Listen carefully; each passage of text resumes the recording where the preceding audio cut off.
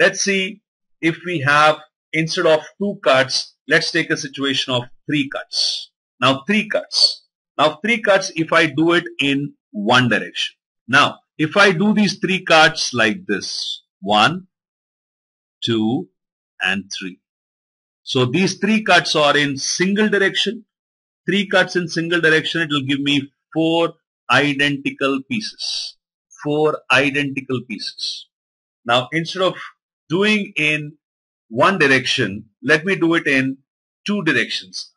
Now, if I do it in two directions, it could be one in one direction and two in another direction.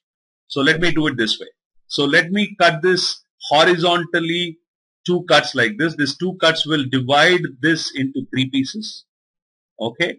So that will divide this into three pieces.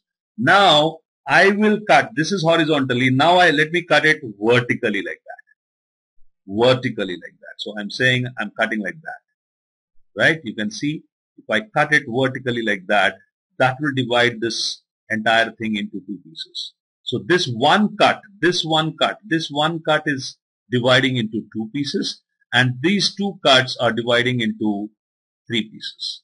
So totally I'll get 2 into 3, 6 pieces. So I'll get, I'll get 2 into 3, 6 pieces. I hope you're getting it. I hope you're getting it. Now, let me do this little differently. Now, if I have, instead of doing in two different directions, let me cut one, one, one in three different directions. Let me cut horizontally.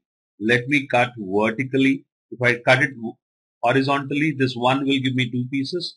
If I cut it vertically like this, it will also give me two pieces. This is one piece, this is one piece, right? And on this face also, if I divide, if I cut it in on this face also equally, that will give me two more pieces. So total number of pieces will be 2 into 2 into 2, that is 8 pieces. So what you can observe here is, if I am cutting it into three different directions, I am able to divide in each direction it is dividing into two pieces. One cut gives two pieces, this one cut gives two pieces, this one cut gives two pieces. So 2 into 2 into 2 is 8. Here in this case, one cut is giving me two pieces, two cuts is giving me three pieces. So 2 into 3 is 6 pieces.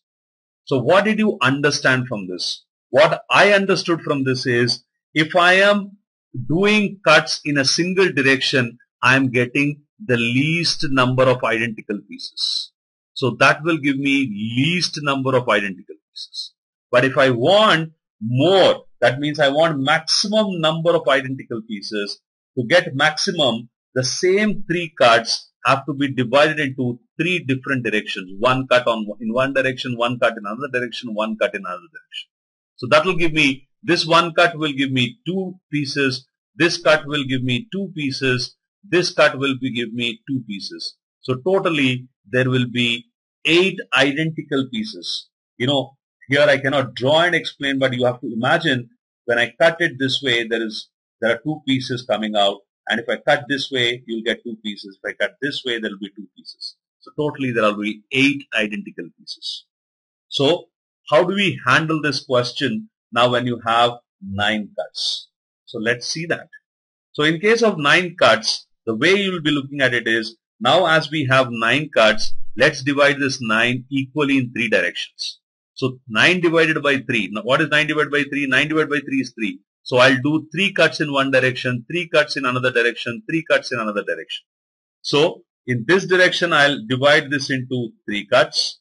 So this 3 cuts, this 3 cuts will divide into 4 pieces. So this 3 will give me 4 pieces. Similarly, I will cut 3 cuts in this direction. That will give me another you can see the small ones getting formed here. Can you see that? 3 into 4 can you see? So this 3 will give me 4 so 4 4 is 16 so that you can see now 1 2 3 4 5 6 7 8 9 10 11 12 13 14 15 16 so now once again if you cut it in this direction if you cut it in this direction what happens?